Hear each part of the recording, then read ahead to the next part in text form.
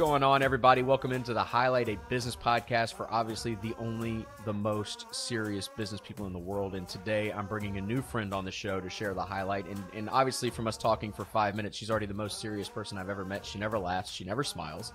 And uh, her name's Kirsty Goodlett.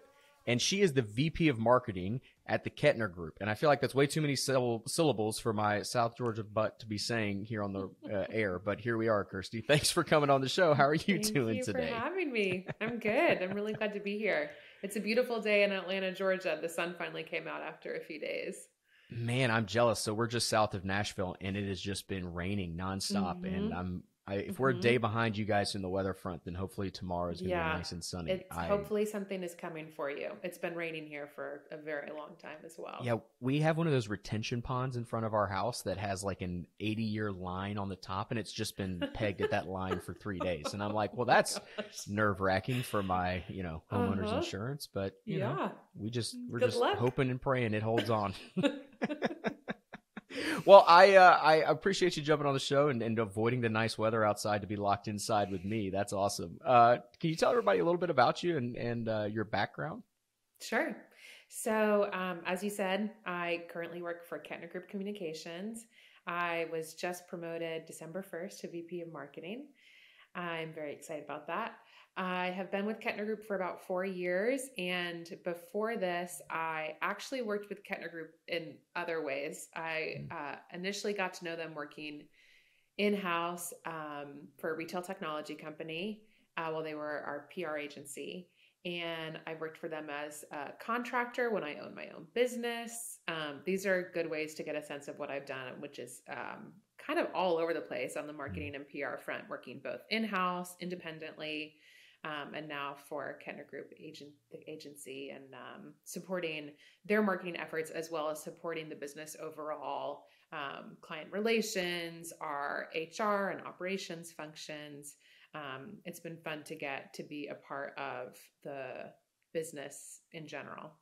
Yeah, it's funny. I think as marketers, I think when you leave college and you want to be in the marketing career field, that means something in your head and then all of a sudden you get in it and you're like oh i got to know how to do all these different disciplines including copywriting and uh, email and social media and marketing and pr and yeah. all the things and i yeah, met it's go for it well i was going to say for me i actually studied film in college and so i kind of really? fell into marketing and mm. didn't really know anything about it and what excited me was exactly that that there's so much to uncover and so much to get your hands around and get involved in that um, it's constantly interesting and engaging and offering up new challenges.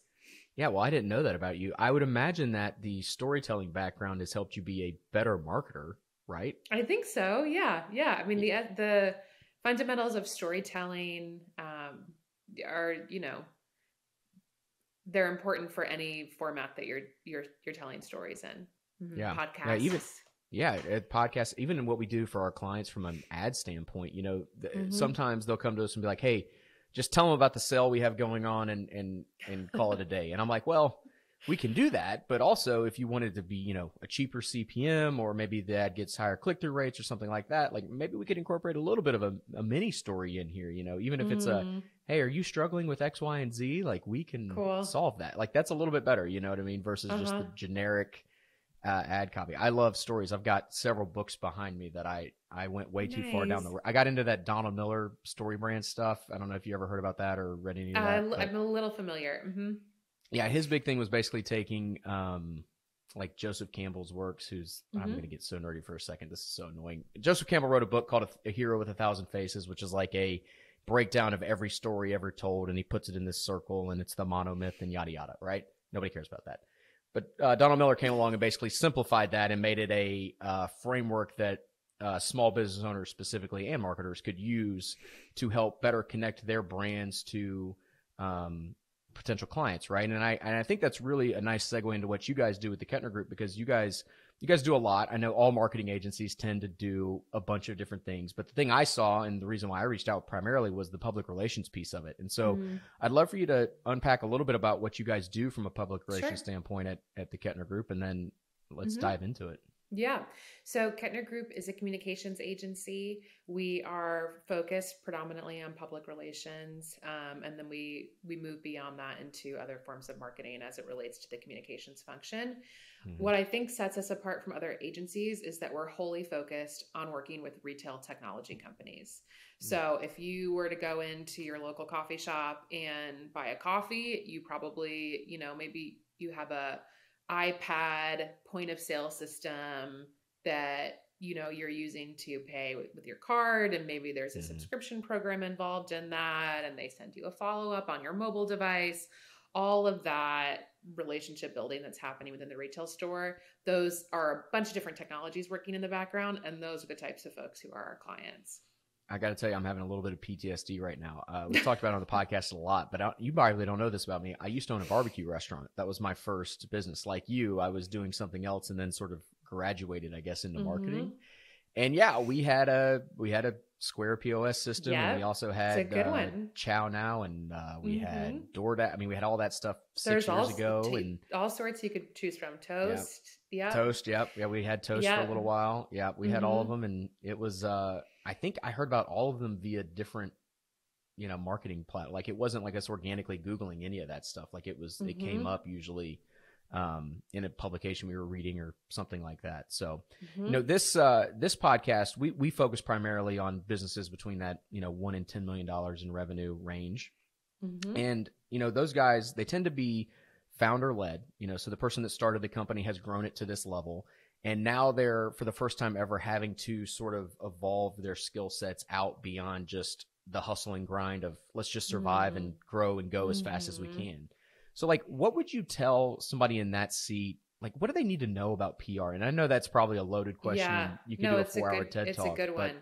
yeah. Um, I think the biggest thing to be aware of at like at that specific moment in the growth of the company is that PR may or may not be of service to you at mm. that moment, and it probably isn't. mm, interesting.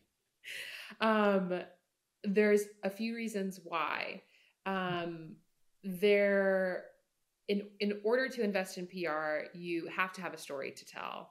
And if your story so far is I'm growing and we're figuring out what the business is, then uh, that's not quite the right opportunity to engage with media. Mm. If the story is we have been growing, we've been rolling out with these customers, here are successes we have found, here's ways that we're capturing new funding from VCs or private equity firms um, here interesting things we're doing to evolve our product those are good opportunities to start engaging with journalists. So it's it's more of a mm-hmm. graduation of the story of the company. Um, that's when pr becomes really interesting. As well and i'm sure that you you are very familiar with this piece of it there's so many things that you can be doing with marketing. There are so many things that you can be doing with marketing. And when you're when you're at that moment where you're primed for a lot of big growth, it's probably more likely that some of those initial foundational activities like making sure your website is really sharp, maybe building out some initial awareness ads, um, creating a subscriber base for a newsletter that you can engage with for free on a regular basis. Those those activities are most likely where you want to put effort first, so that when you start mm-hmm. doing PR, people come to your website after learning about you from an article, um, or you have an executive who writes an article that's featured in an industry publication, um, then people see you in all sorts of different ways on through your digital presence, and they're finding validation about your company. Um, so that's that's where we see PR being interesting for yeah. you know founders or for that that initial growth phase. Um, it, it, you know, you want to make sure you have a story to tell, and that when you tell it, you have a platform that's ready for to hmm. receive mm. inquiries. Yeah. Well, that's the old marketing adage, right? The uh, the good marketing just will expose your bad product faster. So you want to make sure you have your stuff together before you start telling people about it, like at, at a massive scale like that, because. Mm-hmm nothing worse than driving, you know, 10,000 people to your website and you don't have an email sign up form or something right, very basic. Contact like forms that. down. yeah. Or like your server for some reason is not even going to handle that no. much. It's a whole thing. I, but what you did describe there that I think a a person that's either new to marketing or maybe sits in that founder seat and hasn't really mm-hmm. dove into the the skill set that is marketing is you're describing marketing mix perfectly and uh, you know a marketing mix is like you have all these different tools in front of you from a marketer standpoint. You can you could buy a billboard you could buy tv ads you could you could hire a pr agency you could run facebook ads you can do social media you can build your own website. These are all different marketing functions and they're what we call the marketing mix right? And and any healthy company is going to have a a wide range of marketing tools that they're using if they know where they're at in the business. But what we see a lot of times is that people are using them out of order. So I really like the suggestion that we wait to use this specific tool until you know we're at a certain scale that it's it's worth it to go to a larger more national audience i will say that mm-hmm. when i had the barbecue restaurant we were able to use like some local pr hacks cool um, yeah you know like we would we would you know uh, the example that always comes to my mind when I think about PR for a local business is, uh, you know, just trying to get on the local news station with yes, yes, Super Bowl they're great recipes, yeah, yeah. and yeah. it's like very hyper specific, and it was only valuable to us because we were local, and you know, like a uh-huh. big company should never do that; It'd be a waste of time for them. But for us, you know, we were a million dollar business; like it was a great use. Yeah, yeah, I think that's you start to hit on something that's also really important to think about with PR, which is that um, you're requiring someone else to tell your story for you. And in mm order for that to happen, they're going to need to hear from you a number of times, and you're going to need to build a relationship with them. So, one thing mm-hmm. that's a little bit unique about PR from other channels is that you need to have a consistent drumbeat of PR happening every mm month, every week. Um, so that what do you mean by that? Like, like so, what, so what for example, like tactically, um, like take your barbecue business.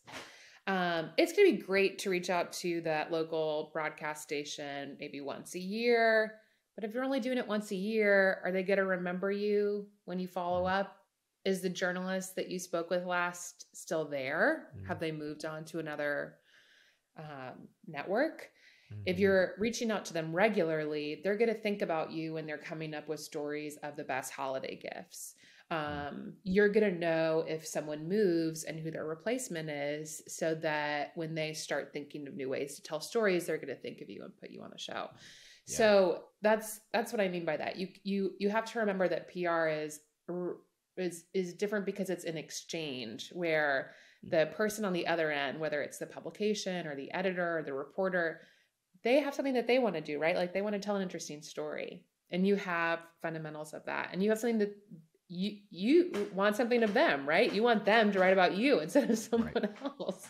Yeah, um, exactly. So it's requiring this relationship between two people, which is very different than you know putting an ad on LinkedIn, where you just need LinkedIn to take your money and make sure that you're following their guidelines in order for the ad to get posted. Yeah, yeah. Their LinkedIn's thing is, or any of those algorithm based ad platforms. It's like, is your ad we're, we're going to interrupt our feed of keeping people on the platform with this ad.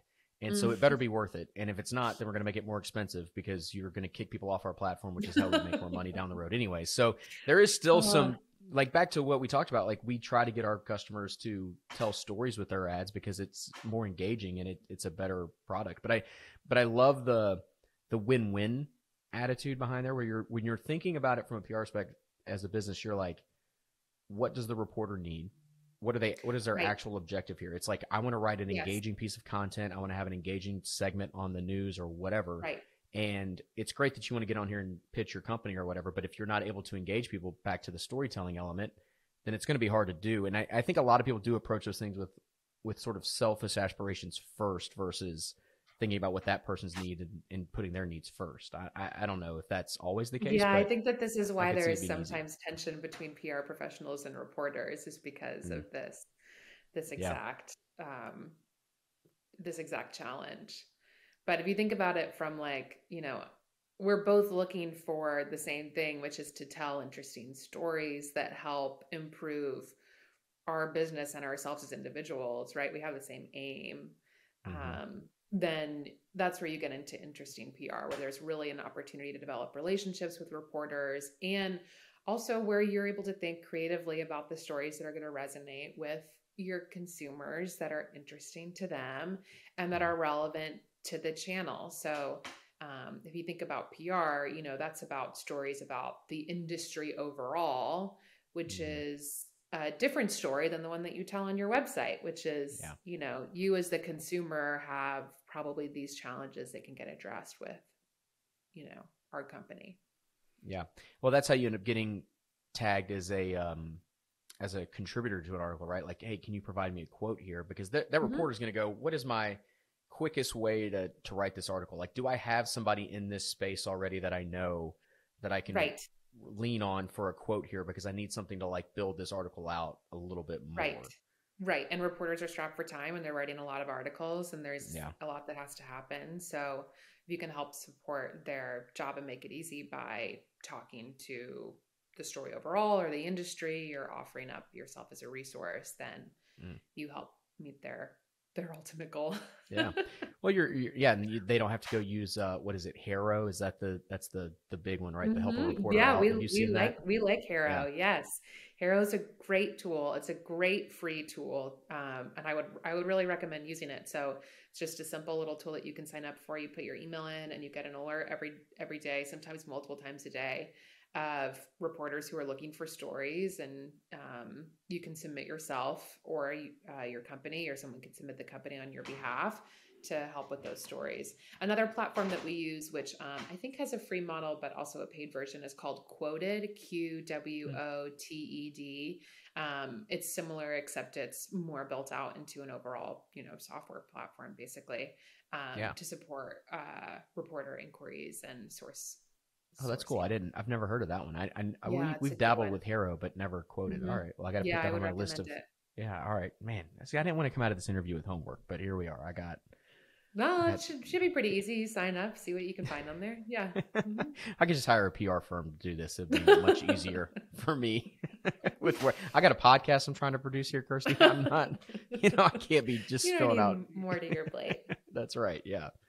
Uh, so I I, I want to go back to the building the relationship with the reporter. And you talked about frequently reaching out to that person just to like stay top of mind and continue to build the relationship. Is there, there's always a tension for me when I'm reaching out to that person that like, am I sending them the right thing or is it, um, am I going to burn my relationship with them out because I'm just sending them stuff all the time, even if I'm trying to make it valuable for them and I have good intentions? Like, mm-hmm. but if it's like three months of sending stuff to them and they're not writing back to me, like, is there, I need to change the pitch. Like, how do I, build a better relationship with that reporter mm-hmm. versus yeah this is where things get tricky because every reporter is going to be totally different in regards to what they want and how yeah. often they want to be engaged with um, you know one thing that you can try in order to have that question answered directly is to ask I've been pitching you for three weeks, three months. I haven't heard back from you. I know that we talked a while ago and it seemed like we had a good relationship.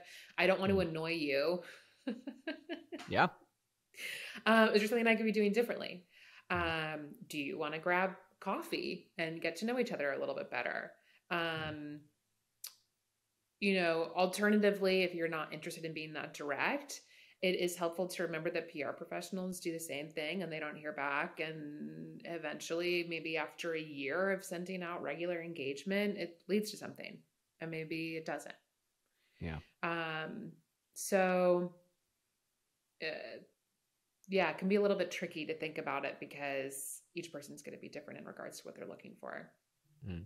One so thing then, that I will I will yeah. offer that's that I like to think about and I find interesting regarding um, these pitches and a reporter's inbox is I think a lot of reporters use their inbox as a searching tool.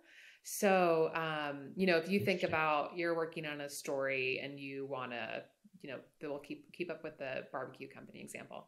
Mm. Um, you are doing a food story and you want to put in local products you know maybe you search uh, tennessee food mm-hmm. and find a pitch from three months ago from the local barbecue company sharing recipes that incorporate barbecue sauce um, so what i what i like about this is like the reminder that it's not always that a pitch leads to an opportunity Sometimes there's the cadence of reaching out regularly helps eventually get somewhere, or sometimes reporters use their inbox as a search tool to I did not expect Defined, a SEO search yeah, engine optimization. Yeah, that's uh, why pitch. the subject that's line a, is going to be important. The yeah. body, that initial, you know, piece that you have in the first piece, because people are going to use their inboxes like a like a search tool. that's I, I mean, it makes a lot of sense, uh, and I'm kind of blown away by how simple that is, but effective it would be because that's mm-hmm. exactly what that person would do in trying to ship a story as quickly as possible. That's right. still good. So wow, right. okay. So add SEO in emails. Yeah. All right, I've got it. My to do list is growing. You're killing happy me. To help. Is, I'm happy to help. Please stop. please be worse at your job. That'd be great. Uh, you act like you're the VP of marketing for a PR firm. I mean, come on. So well then, so we talk about building these relationships out, and that's that's a very time intensive thing. I mean, you talk yes. about weekly emails, yes. weekly communication, and and even if you're a smaller business owner, or even if you are a a rep, a marketing rep at a, a larger company, you still only have so many working yes. hours in a week. How do you determine which publications, platforms, news organizations? How do you determine which ones are the best ones for your organization that are worth pursuing those relationships with? Mm. Um, I mean, th- this is where uh, we come back to the the first statement, which is, are are you ready for PR and do you want to invest in it? Right? Because you are absolutely right. PR is is a function of time um, mm-hmm. in comparison to a function of of money or spend in order to generate results. Um, there are there is so much information out there for you to be able to use as your resource. And so it's a matter of sorting through it. Um, when it comes to figuring out the right publications, every publication will have subscriber information listed on their site. Um, sometimes they list it publicly under a certain landing page. Other times, um, you can find subscriber information by downloading um, an ad, you know, portfolio or briefing book mm-hmm. or something, which will include subscriber information. Yeah. If it's not listed publicly, which would be a surprise, you can also reach out to and add contact to the publication to get a sense of subscribers. The thing that is helpful to you there is ideally the subscriber base for the publication should match your tar- target audience. So if your target audience is, um, you know, for us, uh, our companies want to reach retailers Mm-hmm. They often want to reach retail executives. Sometimes they want to reach um, the folks on the technology team. Other times they may want to reach folks on the on the marketing team. Um, the subscriber information and the breakdown of those roles will help them identify. You know, is it a more of a marketing focused publication they should be mm-hmm. aiming towards, or more of a retail focused publication that also talks to marketing? Um, so that's a, that's a really good place to start. Uh, I like to use social media as a good research tool to figure out um, a publication's reach on social, which can often be a good uh, validation of their reach in general. Mm-hmm. Um, same with newsletter subscribers. Um, so those are those are good resources to figure it out. Again, what you're looking for is is my target audience going to be on mm-hmm. this publication? Yeah um, that is why so many folks that we work with, their main target are trade publications instead of larger top tier publications mm-hmm. because there's a greater likelihood that their target audience is with those reading those trades and um, there's more of an opportunity for smaller companies or more niche companies or technology companies to appear in a trade publication than you know a larger top tier publication that's writing about large fortune 500 companies yeah do you guys have a thought about if if pr is better for b2b companies or b2c companies i think it can be helpful for both mm-hmm. Mm-hmm. Um, one of the things that I think PR does really successfully is help build validation. So, you know, if you go to a company's site and you see that they've been featured on these reputable publications, then yeah. you're going to think that they're reputable. Um, that's helpful for B2B and that's helpful for B2C. Um, yeah.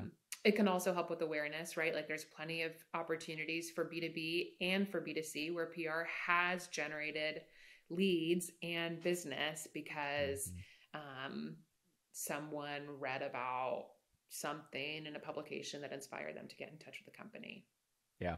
What uh, the the social validation thing you just mentioned? We we've seen it on a bunch of websites, right? Where it's like as featured on or as seen on Fox or CNN yes. or whatever. Yes. I got an ad the other day, and I'd love to know what you think about this. I got an ad the other day from one of these companies that was like, if you give us 200 bucks, we can get you featured in all of these different platforms, and then you can ethically, supposedly, put as seen on Fox and CNN and CNBC. And I was like, I'm not gonna lie, I was like, hey, that's you know, it seems like a really great shortcut to all my PR issues because otherwise I'm gonna have to do what Kirsty said and get to work on like, you know, building relationships with certain reporters. And I'm just, you know, this seems mm-hmm. faster and it only cost me 200 bucks, which is nothing. So let's do it. We didn't do it, but we looked into it, and I and I'm just you know, something felt weird about it because when we dug into it, it was like they basically had referral partners with like you know the mm. local affiliate in Phoenix for CNN or Fox or whatever. And then technically you'd be featured on their website in like one of these mass dump pages where they put oh, like a gosh. 120 character tweet about you out on the page uh-huh. basically. And I and you, technically I guess you could put you were featured, but that just feels gross to me. I don't know. And maybe I'm just having a therapy session with you, but that's I don't know. That was weird. It was it was a weird experience. Yeah, sure. that's that's not a service that we offer. Yeah. Fair enough. So don't come to you for easy uh, two hundred dollar no. uh, publication. Yeah. No. Yeah, but it is fun. I mean, we see it all the time. The internet's a great thing that it's it's made things more accessible for people, but you know, it's also yeah. no, we've certainly things. had this discussion before. the The thing about PR is that you can't guarantee you cannot guarantee placement. Yeah. How do you handle that conversation with people? Like when they come to you and they're like, "I'm going to pay you this what seems like a crazy amount of money," and you're telling me I cannot be guaranteed results. Like, are yeah. you even a professional? Like, what oh. what are we doing here? Um, that is where one of the things that is is uh is tricky comes in um, with client evaluation, right? Companies are going to be evaluating you as as the agency, and mm. I'm sure that you have found this as a business owner, right? You're also evaluating them, and one of the things that we use as a marker because it helps guarantee long term success is does the company understand the value of PR?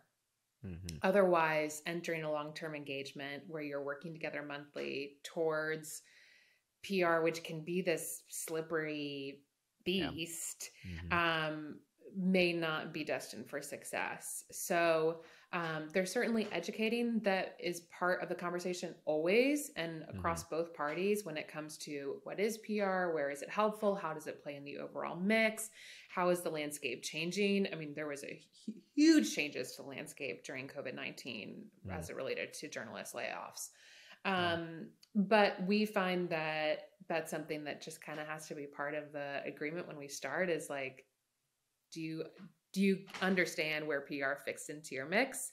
Yeah. Do, are we on the same page about what that is? And if we're not, then probably not going to be a good long term yeah. partnership. It, it's kind of a weird analogy, but it's like this is the tool that you're using, and here's the thing that it's supposed to do, but there's no right. guarantee that it'll actually work, which is fascinating when you think about it. But it's it's yeah. true. We always tell people that we work with um, because we're like you guys. We we tend to try to look for long term relationships, and so we've turned people away that just weren't good fits for us because even from a a paid media standpoint, if you're going to run paid ads, like you may not need be in a place where you need to run paid ads. You might just need to go hire more salespeople to go door to door and cold call people right. because that's a faster right. ROI. Mm-hmm. Um, but our underlying thesis from a marketing standpoint, and it seems like something you're hitting on as well, is just marketing is about building long term relationships. And um, if you're expecting it to drive financial results in a set period of time that's not longer than you think it is, uh, you're probably going to end up being disappointed by it. And it's it's funny that PR and public relations is a function under marketing. It is it, it, holds true across the board because everything else is a sales mm-hmm. activity. Like I sent you a cold email to get right. you to buy something. I called you right. to get you to buy something. It wasn't to like read you an article on the phone and give you content. Like that is a totally different yes, activity. Yes. I think that I think that is absolutely right. You know, sales and marketing are different pieces of the puzzle that support one another, but ultimately marketing isn't about driving a specific sale. Yeah. Yeah, exactly. Yeah, I, I love the movement towards. Uh, I think it's called demand generation now. Is like the hot buzzword that you see all over the internet. Is like, mm-hmm. can we create demand? Mm-hmm. Yeah, yeah, the demand generation, people, yada mm-hmm. yada, and it's like, okay, cool. We've just rebranded marketing as this new thing because the other thing got so well. I don't know. bastardized I think about over it as time. like demand gen is that part of the marketing function that is sitting closer to sales and is about that you know relationship with the sale the salesforce and pardot tool or Mhm. is about capturing the the bottom of the funnel conversions using an ad platform or whatever Yeah. it is That's funny. I see it as like a demand generation is just building the broad awareness with value added Huh. content stuff. well this is a good example of a lead- new term Yeah, and then we don't even know- yeah, and we're both marketing professionals. who knows what the thing means? Who knows? Who we can't even explain you marketing. should get some you should get someone on the podcast who has that job title I, I would. I should. All right. I'm gonna see. You keep giving me things to do after this. You act like I'm not busy. Like I've already got PR homework. Now I got Yeah. marketing homework. It's a whole Mm, thing now. podcast homework Podcast. oh, Yeah, exactly. Well, I mean, like this podcast is about. You know, this is what I see as demand generation. Maybe that's just more. You know, it's it's a long term play thing where we don't expect any sort of crazy results, but over time, it gets people to know us and friends that Mhm. we we have in the industry, and it just tends to work out in the long run. It's our own form Yeah. of in-house PR. We try to own the Mhm. media when we can. Uh, Yep. Some of our plans in 2023 and 24 is to to go externally and start leveraging other people's stuff as sales grow. But we're trying to do what you said and be really aware of where we are as an organization and say, is PR really the right move right now for us? And Mhm. it doesn't, Mhm. you know, not quite, but we're close, which is Cool. frustrating because I just want to do everything, and I, you know, it, it kills me to say no to stuff, especially fun I stuff. know, So I know, I know. We have the same discussions when it comes to identifying the activities that we invest in from a marketing Mhm. perspective for the agency. And Yep. the list is selective. Yeah, it's tough. You got to know what to say no to because it everything has a cost. It's crazy. All right, so we like to ask everybody this question: If I could 10x your budget for PR tomorrow, and let's say you were working at a, a business in that one to ten million dollar range, like we had talked about, and you know, I'm assuming their budget for PR is probably zero, like that's usually what it is. But like, let's say it was something, and then we've now made it where money's no longer a problem. Like, what would you tell them to go do to to more effectively use PR in 2023? Hire an agency to do it for them Yeah. Why would you do because it's an an exchange. Because it's, internal? it's an exchange of time. Hmm. So you're Yeah. spending the money to have someone else spend the time. Um, the benefit to hiring an agency to do it as opposed to doing it in house, and this is something that's unique to. PR, is that when you hire an agency, you should be vetting the agency for the existing relationships that they have with reporters. So you're paying them to have done all of the work to build all of those relationships over a long period of time. Yeah. Which means that you can get results faster than if you start trying to build all of those in house. Yeah. And eventually recommend- maybe see someone in house who leaves for another company and takes all those relationships with them. Yeah, that's true. Then you're very vulnerable. Uh, I like that. That's a good answer. Do you do you have a is it the marketing manager or somebody in the marketing team that's the the relationship holder between them and the agency? A hundred percent. Yes. That is Yeah. another thing that we talk about a lot when it comes to identifying good client partnerships. You really need to Mm-hmm. have someone in house managing marketing who can manage the agency Yeah. because the agency is going to create a lot of work for you if they're good.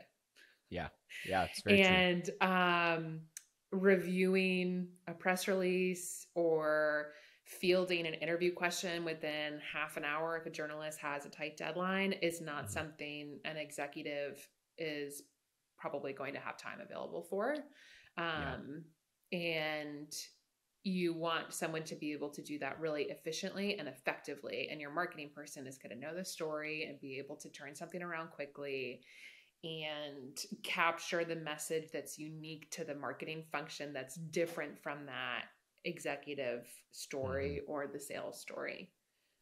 Yeah, that's good. I, I like that. I, a lot of times people will try to, uh, especially in this range of company we're talking about, they try to save money. I mean, fair enough. Like cash flow is a problem. I get it, but they try to bring it all in house or they try to do it all themselves, and it's you just you get worse results, and it takes longer to get the worst results. And so, yeah, outsourcing it as quickly as possible makes a lot of sense. I I like that answer. That's good. Cool. Uh, so I got to know, did you watch the new? Um, it's on Apple TV, so maybe not. It's kind of a weird platform, but the Ryan Reynolds movie with Will Ferrell, the new Christmas movie that just came out. No, Uh, no, Ryan- I haven't. So, fun fact: Ryan Reynolds is a PR person. So, your homework coming out of this episode is to go watch Great. that movie. I'm, I would be more than happy to. Just text me afterwards and tell me what you think about Ryan Reynolds as a PR exec because it's crazy. I spoiler alert because it's only like the first ten minutes of the movie, but he is a he's speaking at a uh, Christmas tree conference, Christmas Uh-huh. tree farmer conference in Okay. Canada or something, Mhm.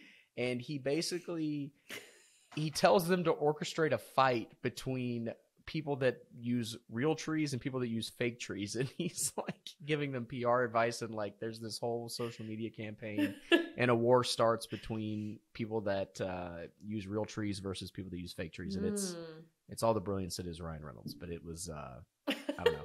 That was that was crazy. Uh, but you got to check it out. More than happy to. All right, so last question of the day here. If uh, you just moved to Atlanta, we were talking about that a little Mhm. earlier. Uh, what has been either the best part of living there so far, or what are you looking forward to the most?